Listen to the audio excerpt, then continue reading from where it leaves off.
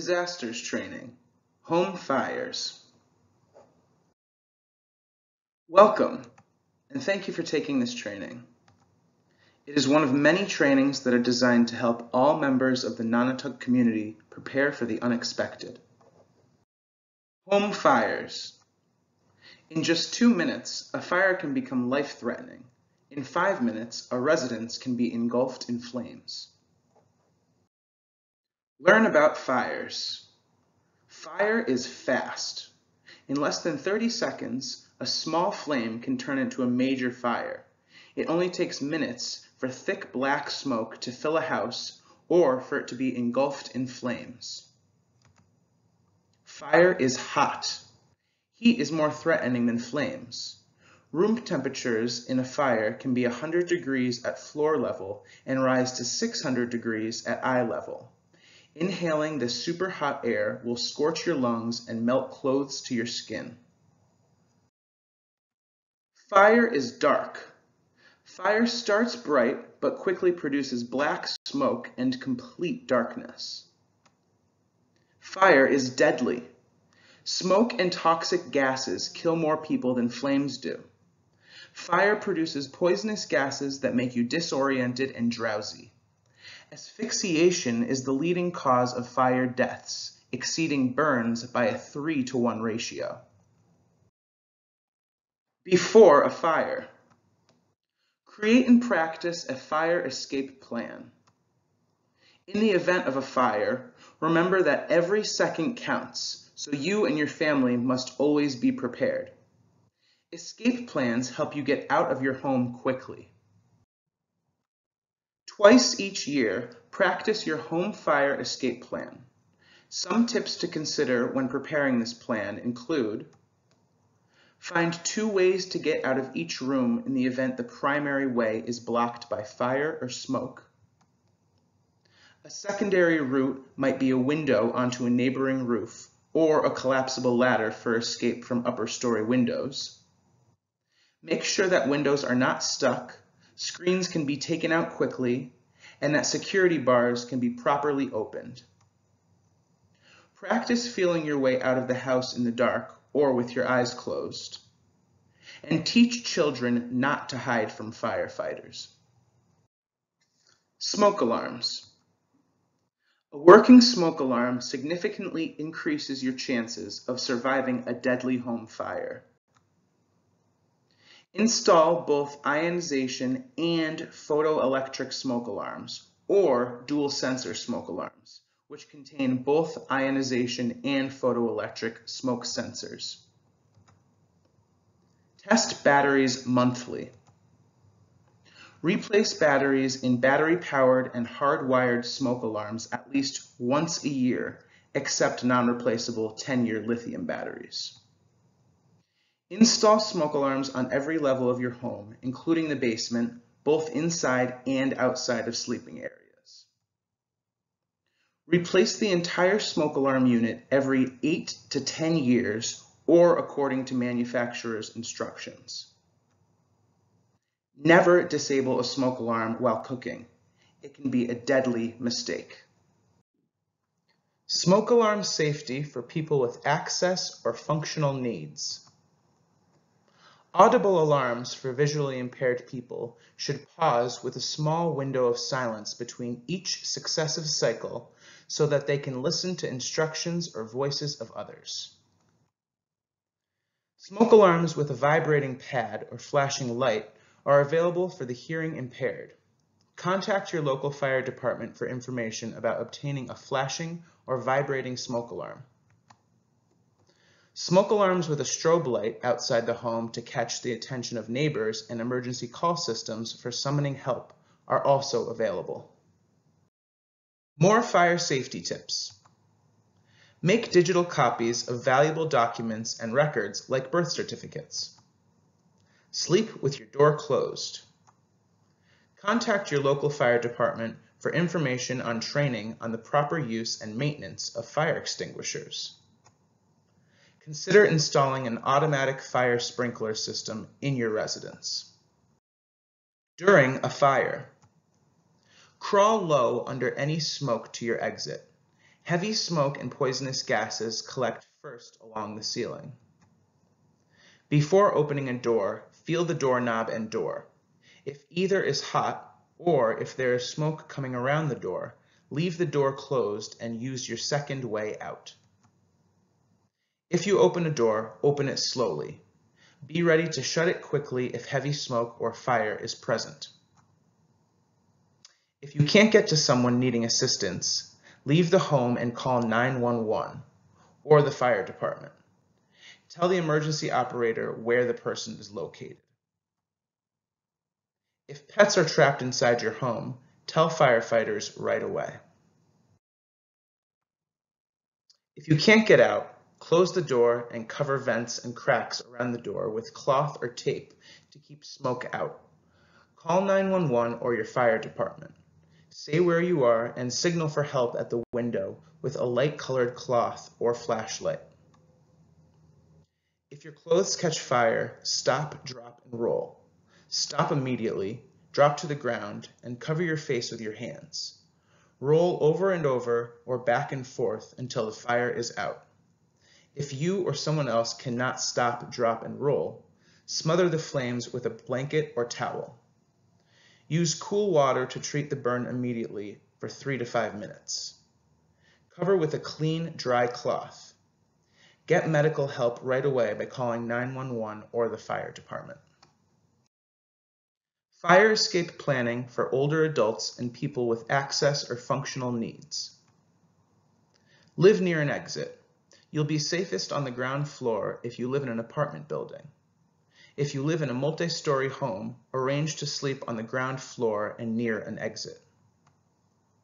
If you use a walker or wheelchair, Check all exits to be sure you get through the doorways. Make any necessary accommodations, such as providing exit ramps and widening doorways to facilitate an emergency escape.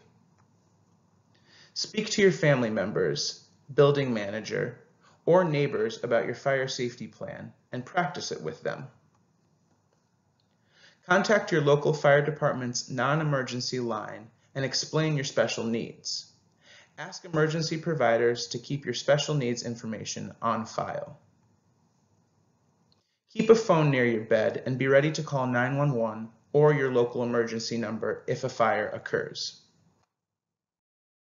After a fire, contact your local disaster relief service, such as the Red Cross, if you need temporary housing, food, and medicines.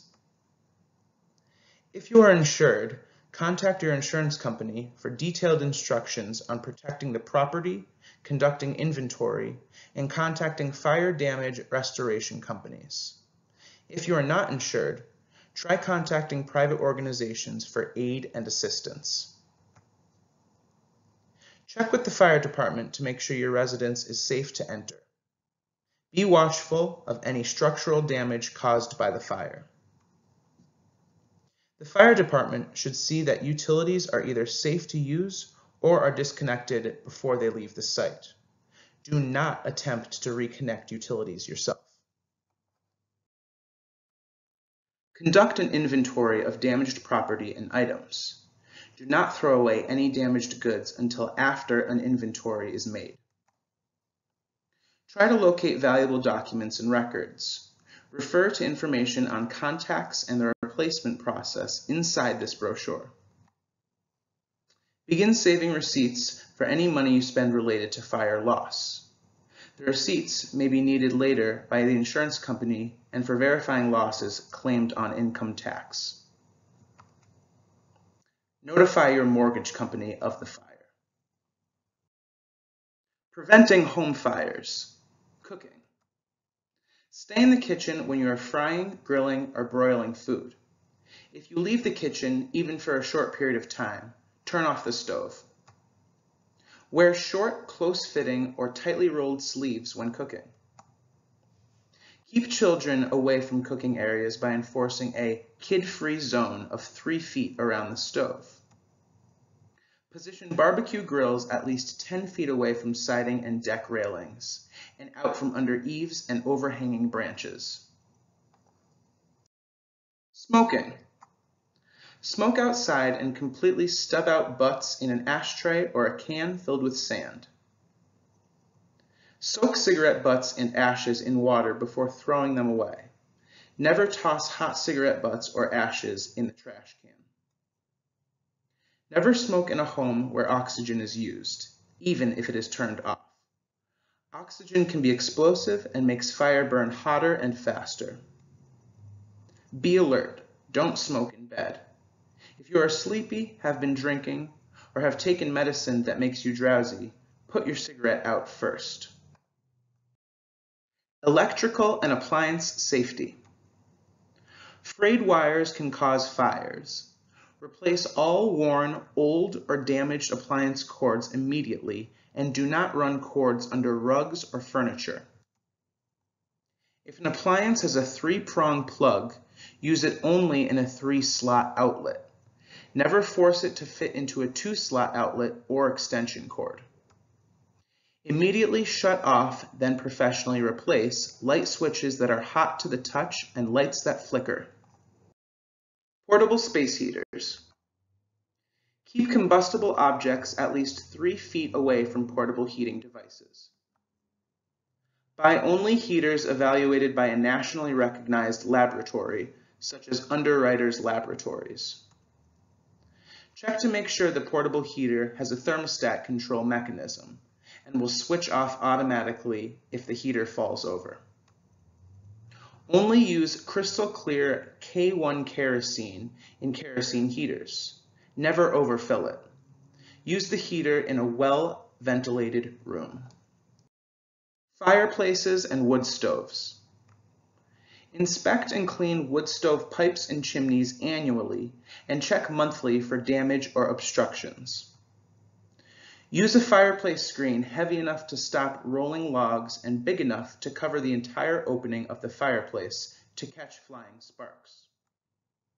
Make sure the fire is completely out before leaving the house or going to bed. Children. Take the mystery out of fire play by teaching children that fire is a tool, not a toy. Store matches and lighters out of children's reach and sight, preferably in a locked cabinet.